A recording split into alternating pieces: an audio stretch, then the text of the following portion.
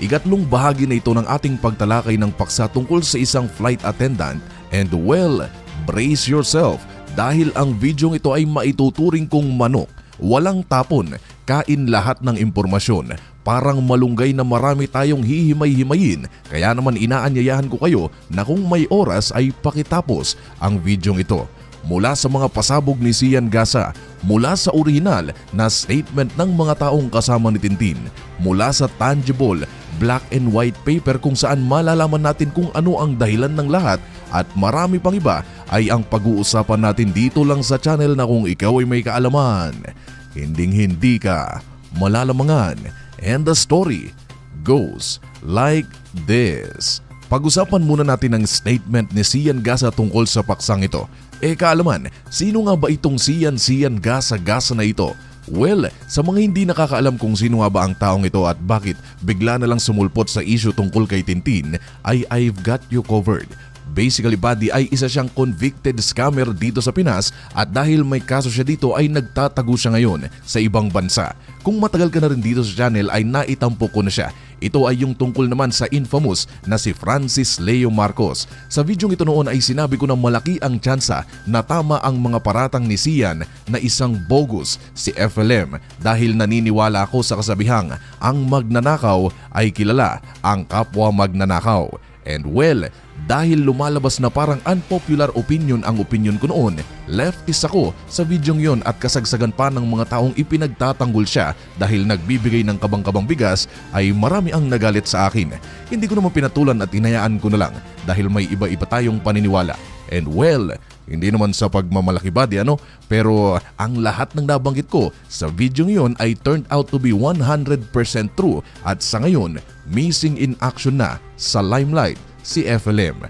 Basically, bagamat wala na dito si Sian Gasa sa Pinas, ay patuloy pa rin ang mga koneksyon niya sa mga malalaking pangalan sa Pilipinas kung pag-uusapan ang pera. At bingo, sakto namang ang mga tao sa likod ng pangyayaring ito ay masasabi nating may kaya at dito papasok ang Friends of Friends of Friends ni Sian na friend ni Tintin. Andyan nga't mayroon pa siyang video na hindi ko alam kung 100% true pero lumalabas na kuha ito habang nagpa-party-party ang magkakaibigan. Panoorin natin ang clip na ito.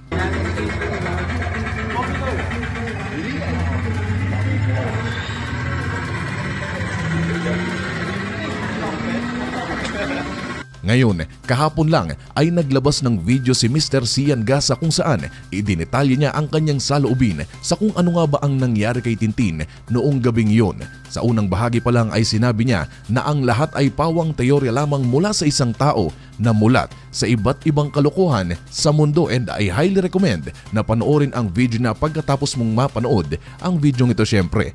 Ililink ko na lamang ang video sa ibaba. Ilang oras ang lumipas matapos gawan ng video ni Sian, ang paksa tungkol kay Tintin ay muli siyang nag-post. Ito ay ang dalawang litrato ng di umano, official statement, medico legal ng katawan Tintin, and oh boy, parang nasabugan ka ng super lolo sa pasabog na ito dahil makikita dito ang ilang mahahalagang detalye Mapapansin din na blurred ang larawan dahil hindi ko ito pwedeng ipakita dahil confidential ang papel na ito. Pero malaki ang tsansa na nakita mo na ito sa social media.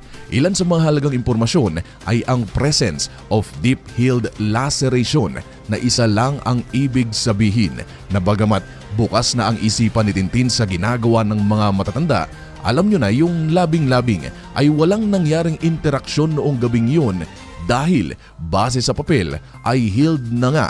In layman's term ay hindi pumasok o walang ipinasok na manoy sa kanya noong gabing iyon. Ganoon din na makikita ang findings kung saan sinasabi na kaya siya nawala dito sa mundo ay dahil sa ruptured aortic aneurysm. E kaalaman, ano nga ba ang bagay na ito? Hindi ko maintindihan Well, basically to make things simpler ay may pumutok na importanteng ugat sa katawan ni Tintin kaya nangyari ang lahat. Tumaas ang kanyang blood pressure. E kaalaman, ano ang dahilan ng pagputok ng ugat ni Tintin? Marami body, marami ang mga maaaring mag-trigger nito. Una ay ang labis na alak, labis na kasiyahan, labis na pagtutol sa isang bagay o bawal na gamot. Basta body marami, walang certainty sa ngayon kung ano ang nag-trigger nito. And well, correct me if I'm wrong ha, correct me if I'm wrong buddy. Nabanggit ko kanina na ang dokumentong ito ay isang confidential na may ibig sabihin hindi dapat natin ito nakikita. That goes to show na for some reason ay may taong nakakuha ng access sa dokumentong ito at na-leak sa publiko. Malaki ang tsansa na bagamat naikalat na ito ng iba't ibang page, mga kilalang mga personality sa social media ay kay Sian Gasa original na nai-upload ang dokumento. Ngayon, kung ang unang video ni Sian ay pawang mga teorya lamang ay base sa kanyang ikalawang video tungkol sa pangyayaring ito ay mga lehitimong impormasyon na galing sa kanyang intel at mga reliable source mula dito sa Pilipinas ang kanyang sasabihin. Again, we need to put in into consideration na mulat si Sian sa mga masasamang bagay dito sa mundo at kung pag-uusapan ang pera sa Pilipinas. And brace yourself dahil base kay Master Sian Gasa ang dahilan daw ng lahat ng ito ay overdose ng bawal na gamot. Let that sink in for a while. Ngayon, sa mga bata-bata na nanonood at hindi maintindihan ng sinasabi ko ay maaaring hinihit-hit o di kaya naman nakakapsul ang gamot at uh, pag ininom mo ay lulutang ka na tila ba ikaw ay nasa heaven. And hep hep hep hep, hep bago ka mag-comment ng mga negatibo tungkol sa statement na ito ay uh, let me finish first. Chill ka lang buddy. Sa statement na ito ni Sian ay sinabi niyang walang pananamantala ang nangyari. Again buddy, walang pananamantala noong gabing yon kay Tintin. So basically, tama ang nasa medico legal. Walang penetration sa puwerta ni Tintin at ang dahilan ng pagputok ng ugat niya ay dahil lang sa bawal na gamot. Nabanggit din ni Sian na base sa mga impormasyon at video na isinend sa kanya mula sa kanyang intel dito sa Pilipinas ay hindi pinilit. Again, hindi pinilit si Tintin na gumamit nito kundi kusa siyang gumagamit. Bukal sa loob niya pero sa kasamaang palad ay nasagad niya ang kanyang sarili kaya nangyari ang lahat. Eh kaalaman, eh kung ganoon ang nangyari ay bakit hindi idinitalye ito sa dokumentong ipinakita mo sa amin?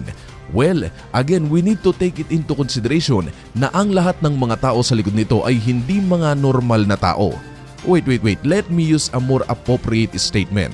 Mga tao silang may kaya sa buhay, mga taong may pera at hindi basta-basta.